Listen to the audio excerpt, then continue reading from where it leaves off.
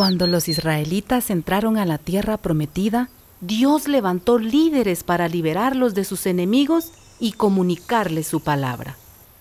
Pero ellos insistieron en tener un rey para que los gobernara, así como las otras naciones. Esta historia ocurre en la época del primer rey de Israel. Samuel, ¿estás suspirando? No, me entró polvo en la nariz. Voy a Belén, a casa de Isaí, como me ordenaste. Te oí suspirar. Parece que soy alérgico a las terneras. ¿Vas a seguir llorando por Saúl? Es que se me rompe el corazón. Tu corazón se rompe, mientras el de Saúl se ha endurecido como piedra. ¿Por qué se endureció? Tú mismo escogiste a Saúl y me ordenaste ungirlo como rey. Era querido, respetado, además alto, fuerte. Su corazón, Samuel. He visto su corazón rebelde y lo he rechazado. Y ahora me mandas a ungir a otro rey. Con otro corazón.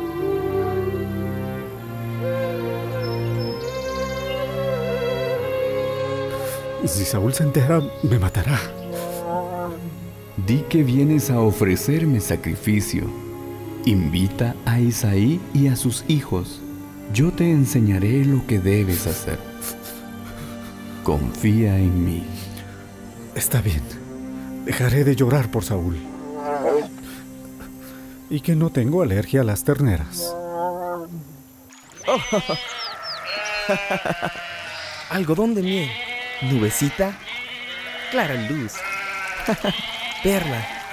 Copo. Luna. Corre, nochecita. Aquí estoy para esperarte.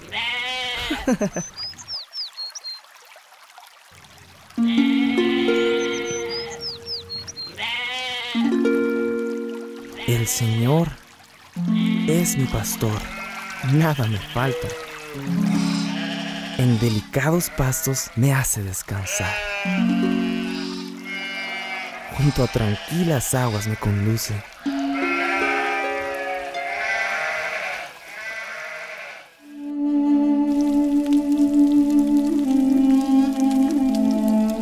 Hoy no solo ofreceremos un sacrificio al Señor.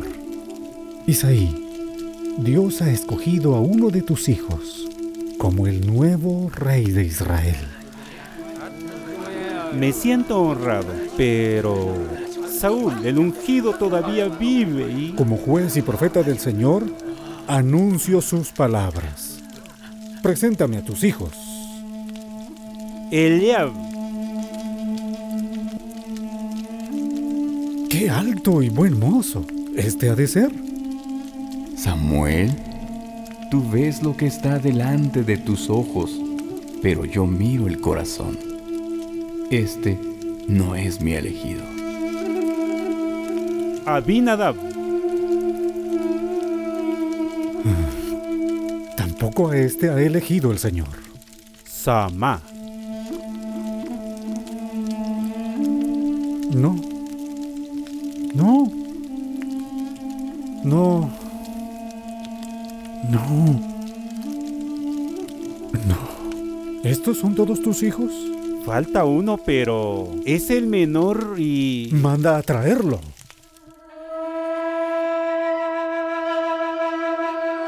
¿Recuerdas, Abner, cuando Samuel me eligió?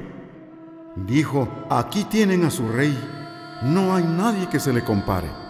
Y todos gritaron, ¡Viva el rey! Pero ahora me ha rechazado. ¿Por qué dices eso, Majestad? Samuel lo dijo. Como general de tu ejército, defenderé tu corona con mi vida. Samuel dijo que mi corona será para otro mejor que yo. Nunca encontrará en todo el reino a uno mejor que tú.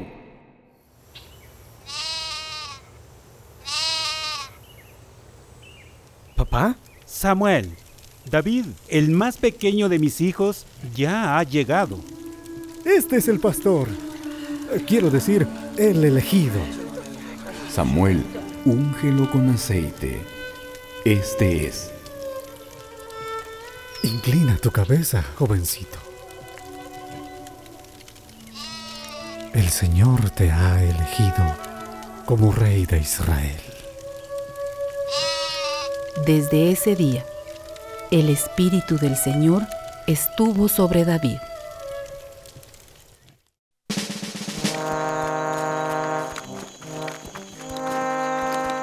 Tiempo después, aunque Dios se había apartado del rey Saúl, todavía reinaba en Israel. Saúl era un gran guerrero. Por eso el pueblo esperaba que derrotara a los furiosos filisteos.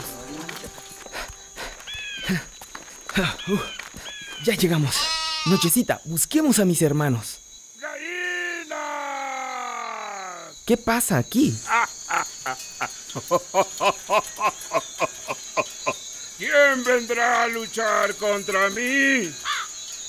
Escojan a uno. Si me vence, seremos sus esclavos. Eliab. David, ¿qué haces aquí? Traje alimentos que envió mi padre. Vete a casa a cuidar tus ovejas. Nadie peleará conmigo. ¿Quién se cree ese filisteo que se atreve a insultarnos así? ¿Nadie enfrentará al filisteo? ¿Cómo pueden permitir que el filisteo insulte al ejército del Dios viviente? Yo iré, Majestad. ¡Imposible! ¿Qué sabes tú de batallas? El Señor no salva con espada. La batalla es de Él. Pastorcito entrometido. Tranquilo, Abner. Joven, cuéntame más. Sí, soy un pastor, pero soy capaz de dar mi vida por mis ovejas. A esta las salvé de los dientes del león. A otras las libré de las garras del oso. Del oso. Pastorcito mentiroso. El Señor que me salvó del león y del oso, me salvará de la mano de este filisteo.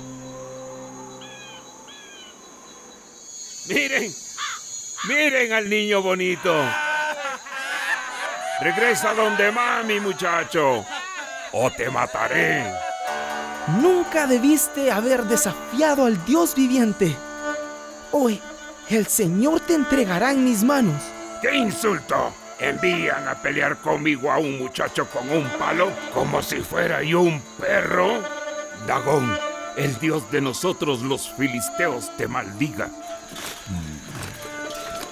Tú vienes con espada y lanza, pues yo vengo en el nombre del Dios de los ejércitos de Israel.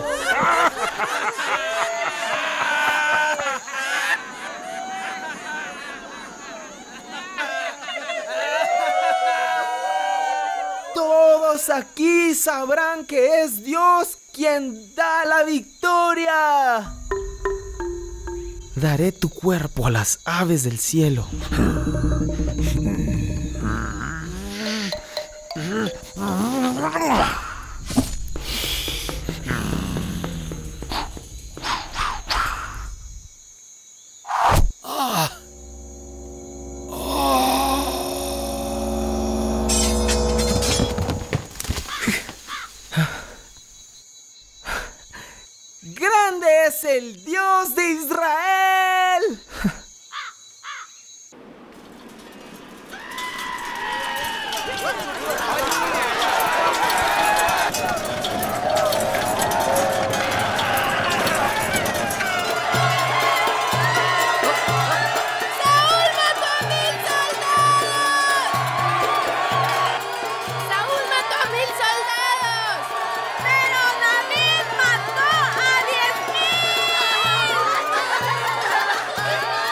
A David le dan diez veces más importancia que a mí.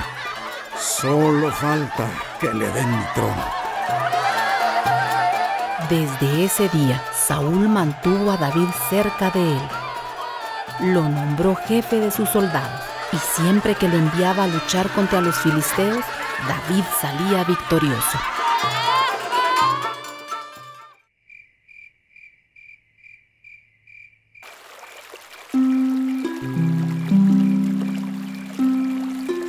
Mientras el amor del pueblo hacia David crecía cada vez más, también crecían los celos del rey. Saúl vivía atormentado porque Dios se había apartado de él. ¿Cuándo va a acabar este tormento? Toca, David. Toca para que esta angustia me deje.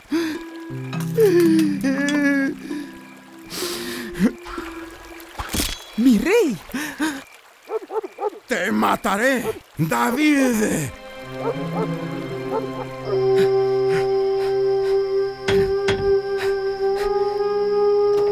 David, Te creí. Serví al rey. Luché contra los enemigos de Israel. ¿Por qué entonces Saúl quiere matarme? entra, David. ¿Tienes celos de mí? Yo no busqué el trono de Saúl. Samuel, tú me ungiste como rey. No fui yo quien te escogió. Fue Dios mismo. Tu vida corre peligro, David. Ahora tengo que buscar refugio. Nuestro refugio siempre está en el Señor, David. Busca refugio en el Señor.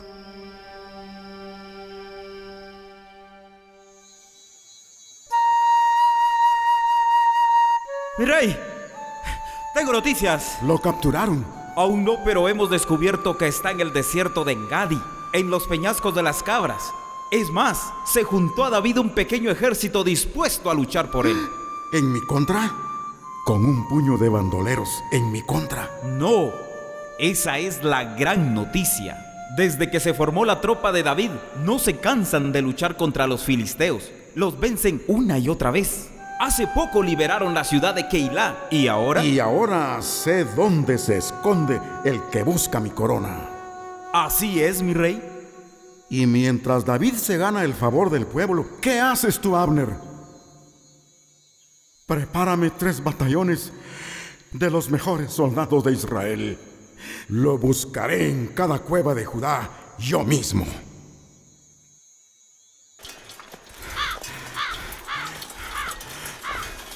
Vuelo a pastor de ovejas. Esta vez nadie lo librará del león ni del oso. Saúl y su ejército. Nos aplastará como pulgas. Amigo Abisai, si no lo ha hecho hasta hoy, es porque Dios está de nuestro lado. Está bien, David, pero mientras tanto... En la cueva, vamos, deprisa. Ah, un redil. Abner, que los hombres se detengan. Voy a entrar un momento en esa cueva. Entiendo, señor. Rodeen el redil. Oigo pasos. Nos matarán. Es el fin, David. Que nadie pierda la fe. Es Saúl. David, viene solo. Dios lo ha entregado en tus manos. ¿Lo matas tú o lo mato yo?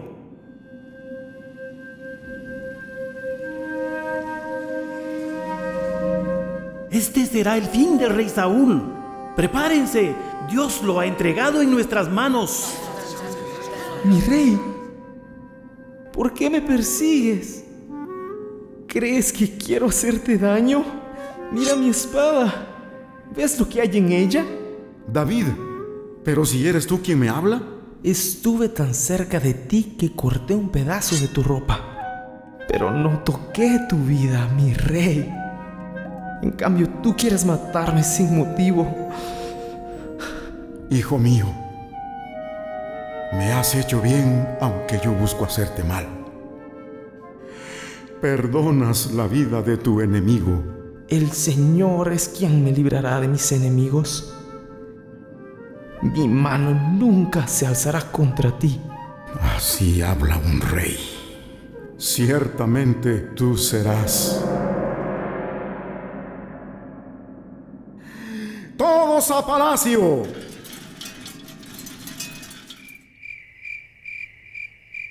A pesar de aquel encuentro con David en la cueva, la furia de Saúl crecía cada vez más. David no es una amenaza, majestad. Es una pulga. que huye en los montes. Una pulga, dices. Si David es una pulga, ¿por qué no lo has aplastado ya?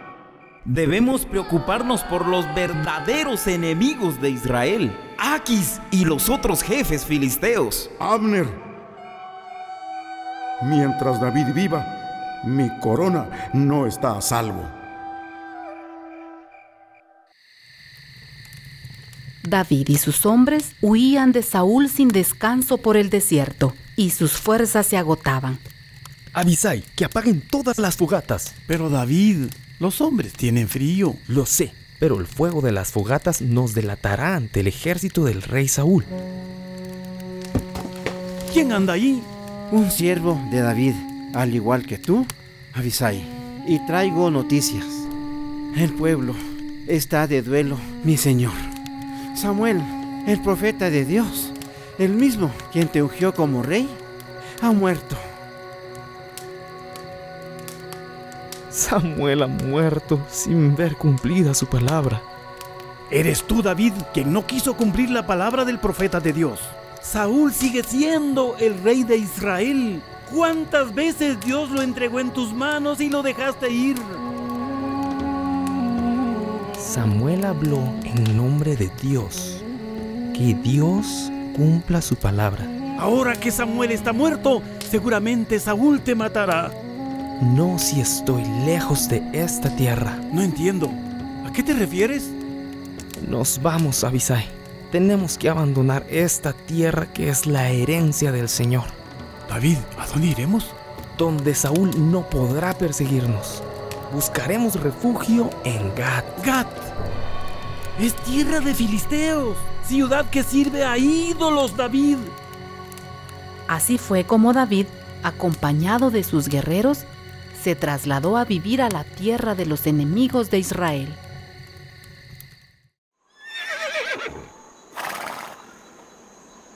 David se rindió, Abner. No lo perseguiré más, no en suelo de nuestros enemigos, los filisteos. Te concedo la libertad, David. ¡Qué noticia! Israel está libre de pulgas y tu corona a salvo.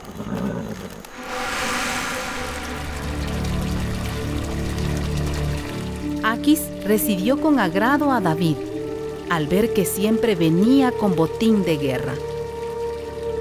El rey filisteo estaba convencido de que David y sus guerreros atacaban a los pueblos israelitas, cuando en realidad nunca dejaron de pelear contra los enemigos de Israel.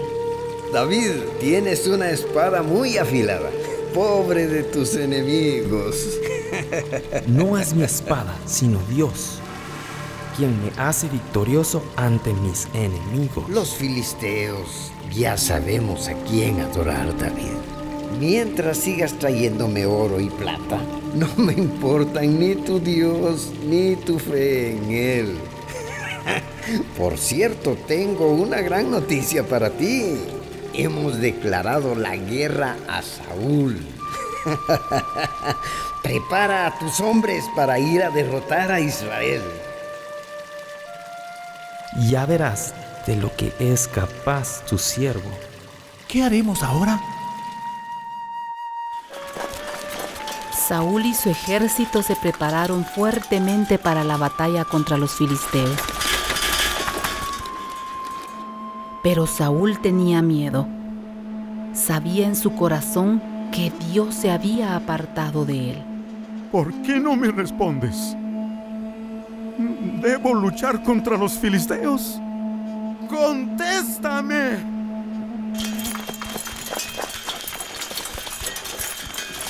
David, ¿cuál es el plan? ¿Será que una vez más Dios entregará a Saúl en tus manos?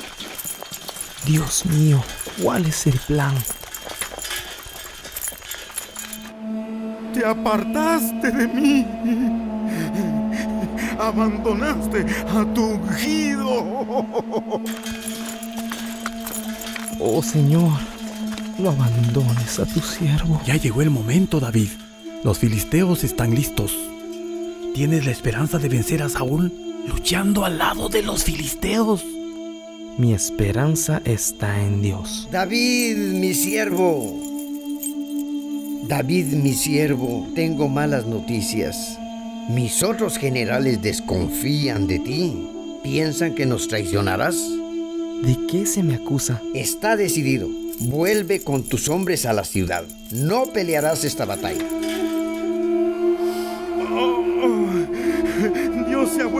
Enemigo. Quiere arrebatarme de las manos el reino. A pelear contra los enemigos de Israel y de Saúl.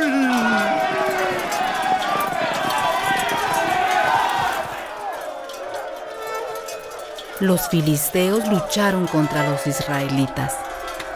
A muchos de ellos los mataron. A otros los hicieron huir.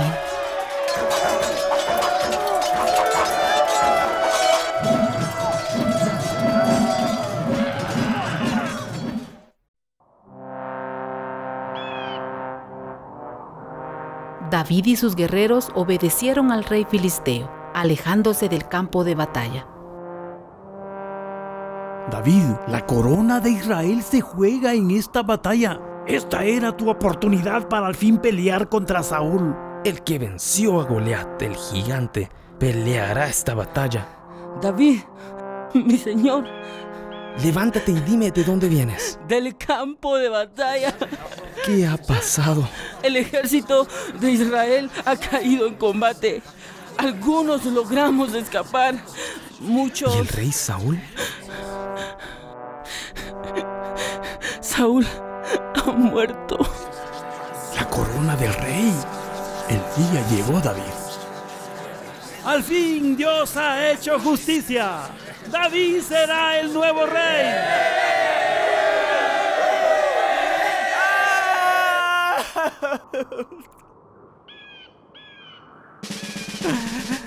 ¡Israel! ¡No! ¿Cómo han caído los valientes? Lloren, lloren por Saúl. Noble, amado, más veloz que las águilas, más fuerte que los leones. David, tierno pastor, guerrero valiente y rey ungido, gobernó sobre todo Israel, tal como Samuel lo había profetizado. No fue perfecto, pero es recordado hasta el día de hoy como un hombre conforme al corazón de Dios. Mi alma